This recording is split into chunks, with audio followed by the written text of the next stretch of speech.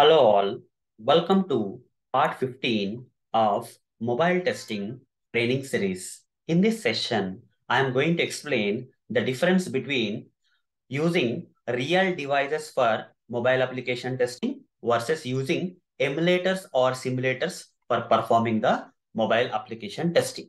So let's get started. You see, coming to the real devices, we need to purchase them, right? For example, your company got a project. Your company is a service-based company where you are working and suddenly your company got a project from the client, okay, who is paying you some money in return for your testing services provided. And the project is based on mobile application, okay, testing. You have to test a mobile application is the requirement. Now, the client is asking you to test this particular application in hundreds of devices, okay? It's a very big project. Hundreds of devices are required. Now, if the company that is serving this mobile application testing as a service it is providing, if it decides to purchase all the hundreds of devices that this particular mobile application is going to support, you see how much cost burden the company has to face, right? Hundreds of devices, one device, 50,000, let's say 100 devices. Just imagine how much amount of money need to be spent. It may be less than whatever the client is paying sometimes, okay? The things may happen where the client, whatever is paying, is going completely into the purchasing of the devices. Okay, that may happen. So, is it uh, possible for us to test the mobile application on each and every real device that is supported by this mobile application? The answer is no. We cannot procure or purchase that many number of mobile devices that are supported by the mobile application, okay, as part of performing mobile application testing. That's the problem. It will be a huge cost burden for the testing service providers to arrange all the supported mobile devices for performing the mobile testing on the real, real devices. This is not possible at all because of the huge cost burdens. Okay, the cost is more. Then how to overcome this cost burden, guys? How to overcome this cost burden? The answer for this is to use emulators and simulators. Okay, in place of the real devices, we have to use some emulators and simulators. Okay, so what are these emulators and simulators? I'll explain. Okay. So even there is a difference between these emulators and simulators. Okay. There is a difference between these emulators and simulators. Though both serve the same purpose, but they have a difference in between them. Before I go to that difference, okay, I'll, I'll be explaining about the difference between emulators and simulators later, guys. Okay. Uh, in the upcoming sessions. But for now, in this session, let's understand emulators and simulators together with that common purpose. Okay. So instead of using the real, real devices, real mobile devices for performing the, by installing the mobile application in the real, real devices and testing them, testing the application, rather we'll be choosing emulators and simulators to save the cost burden, okay? To save from the cost burden, to re reduce the cost, okay? So instead of purchasing those many number of devices, we go for emulators and simulators. Emulators and simulators are just like software programs, guys. They are simple software programs which need to be installed. And uh, once installed, right, we can launch this kind of devices. You see, there is one image here. You see, Android Virtual Device Manager is a software name. Okay. This, this Android Virtual Device Manager, if you install in your Windows operating system or whatever the operating system, it will come like this. And from here, you can click on this. Uh, uh, you can you can play this and automatically when you select this Pixel 3 API 28, okay, Pixel 3 API 28 with this resolution and all, Android 9.0 operating system and all, if you select this mobile device type and then run this, run this, you see this kind of device, virtual device will come. This is not a real one. It's not a physical one, guys. Okay. Using the software, you are mimicking the original device. Okay. These are possible with the help of emulators and simulator software programs. Okay. There are different emulators and simulator software programs by using which we can launch this kind of virtual mobile devices, which are not physical, which mimic the uh, real mobile devices. Okay, instead of purchasing them, simply will uh, go with this kind of softwares and uh, perform testing. So now there is a there's another problem. Okay, there is a problem with these emulators and simulators. So can you completely replace these real devices with these emulators and simulators? Because anyhow, these software programs are uh, these mobile devices, uh, virtual mobile devices uh, generated by these uh, softwares or anyhow mimicking the original real devices. So is it possible for everyone to completely use emulators and simulators in place of the real, real devices and test the mobile applications completely on these emulators and simulators? The answer is no, guys. Okay. though this simulation is happening, though they are mimicking the original real devices, but there are some problems. What are the problems? Here is the problems, okay? So even though we are reducing the cost burden and overcoming the cost burden by replacing the real devices with emulators and simulators, okay, we still have to face the below challenges with the emulators and simulators. What are those challenges? These emulators and simulators are slow when compared to the real mobile devices. You see, uh, when you, uh, based on your computer machine and based on the software you install, this is a very huge software, guys, okay, which takes a lot of your uh, com computer's resources. And uh, you cannot uh, literally do anything else apart from using the software. Sometimes using the software is also a headache, okay? This, uh, this device may launch uh, this uh, this uh, virtual device may come on the screen after some time. It may not come immediately. When you select some option on this mobile device, okay, uh, or uh, just select this uh, browser option, it will take some time to load. It's kind of slow.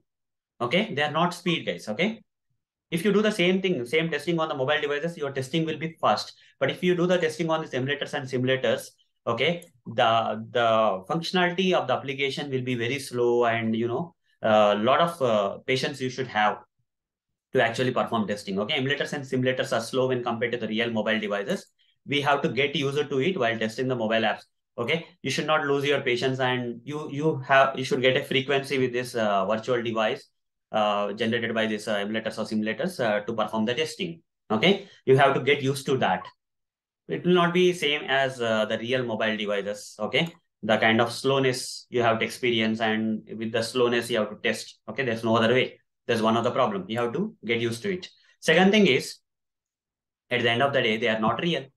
These are not real one, right? These are mimicking the original real devices, but uh, these virtual devices uh, created by this uh, software, simulator and uh, simulator softwares are not real one. So there is a possibility of some functionality not working as you have expected because they are mimicking, but they are not original. Okay. So there's a possibility of you missing something you may get some false results. Okay, well, as part of uh, mobile application testing you are performing, some test cases may pass or some test cases may fail in a false manner. Something which has to uh, pass may fail. Something which may have to fail may pass due to different reasons. Okay, the results that you generate, the testing, mobile testing results, application testing results that you generate on these emulators and simulators is not always correct, guys.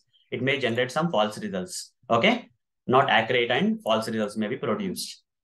So, and uh, other third reason is cannot simulate the real device battery. This, there will not be real device battery. It's not going to simulate the real device battery. It's not going to uh, simulate the real device camera. It's, it cannot simulate the real device memory. Okay. Cannot simulate the interruptions like incoming calls, notifications, and messages. How can you uh, call this uh, virtual? Okay. This is not possible, right? So some things are not possible in the emulators and simulators. That doesn't mean that we are not going to use emulators and irrespective of these problems with the emulators and simulators, still we have to use emulators and simulators because the huge cost burden is here, guys. Okay, if you are going to use all the real original devices, you have to pay a lot of amount. Okay, and you will not get any profits or something. Okay, so what you will do is you will do a combination, guys. Okay, the important devices where the application has to work out of hundreds of devices, whatever the important uh, devices, a mobile device on which the mobile application has to properly work, we have to purchase and remaining all other non-important mobile devices, we have to take the help of the emulators and simulators and then compare. Okay. You have to use a combination. Okay. You have to use your mind and combination, common sense and all testing, guys. Okay. So that's the thing, guys. Okay.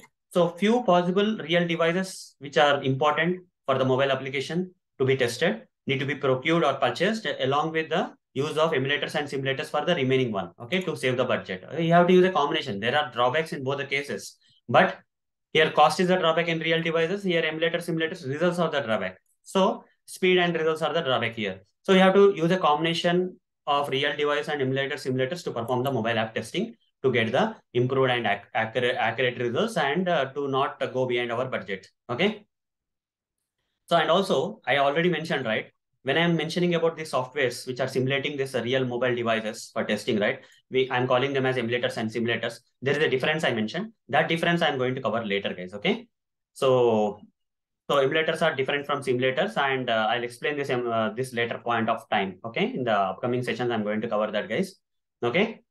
Uh, let me give some examples of these emulators and simulators in the available in the. The popular the popular uh, software programs uh, that is emulator simulator uh, popular uh, software programs which can be used for emulating and simulating the mobile devices are one is android sdk this is an emulator ios simulator is also there.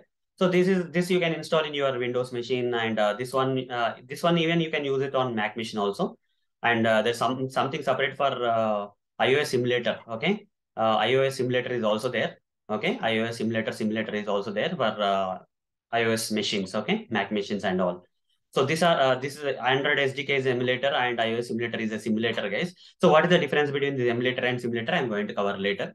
So i need to also explain what is android sdk and all those stuff in detail okay? How to download and install this android sdk how to use it and configure it what are the different options available in this uh, android sdk emulator software. I'm going to cover that Okay, in the next session, I'm going to cover that. Still the same thing with the iOS simulator also. I'll cover that in the upcoming sessions. Okay, in a detailed manner, I'm going to cover in the upcoming sessions regarding this Android SDK emulator and iOS simulator simulator. Okay, I'm going to show you. So that's all for this session, guys. Uh, okay, hope guys you understood what is the difference between uh, uh, using real devices in mobile testing versus emulator simulators in mobile testing. So that's all for this session.